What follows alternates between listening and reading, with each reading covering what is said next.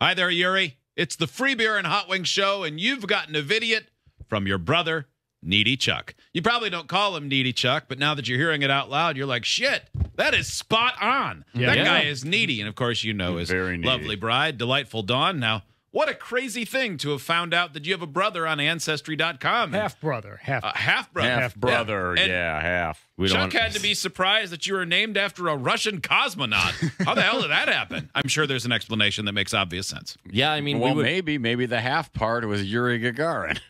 That's what I'm thinking. Oh, how unfortunate for him. I mean, I don't know. we would probably know that, uh, but Needy Chuck, as always, put more in about himself and how he knows us than he did about you. yeah, about how many T-shirts he's tried to squeeze over the years. yep, how he made us take him on vacation once. Oh my God, we Yep. had to take three thousand pictures with that man all around the. I think we stopped at like every little point around the racetrack. You in should. Daytona. uh, yeah. No, we did. It was pathetic. And Yeah. uh, you should definitely sue Ancestry.com for allowing them to bring a stalker into your life. Yeah, Needy Chuck was Google Earth or Google Street View before Google Street View. Yeah, Mm-hmm. Dawn on the other hand, wonderful, Delight. delightful. Yeah. she is delightful. Yes. She is. Why she is uh, yeah, associated with him. Yeah. oh, low self-esteem for sure. Well, you're a, a very happy Oh birthday. God. A very happy birthday to you. Yes. Yes. Thanks. Happy birthday. Thanks for being one of our new Paducah friends. Have a great one. we, we know where you live and it's your birthday. How old you are? Um, nothing about it. He's 11.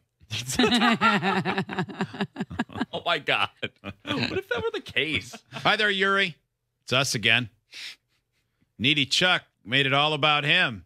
And then living up to the brand name, he wrote back and said, Hey, here's a little more. I need more, guys. I didn't know you would more. need information about my brother. Turns out you're going to be 39. That's pretty awesome. And I see that, according to a photo Chuck sent, you got to meet Batman this weekend. Now, you have a fresh faced Wow. look of a, of a young kid, but what an exciting moment it must have been Yeah, for you that to is. meet All right, the real Batman. That's hold pretty on. cool. Um, let's time warp to ten minutes in the future when I send this to Chuck for approval, and he says, "Guys, guys."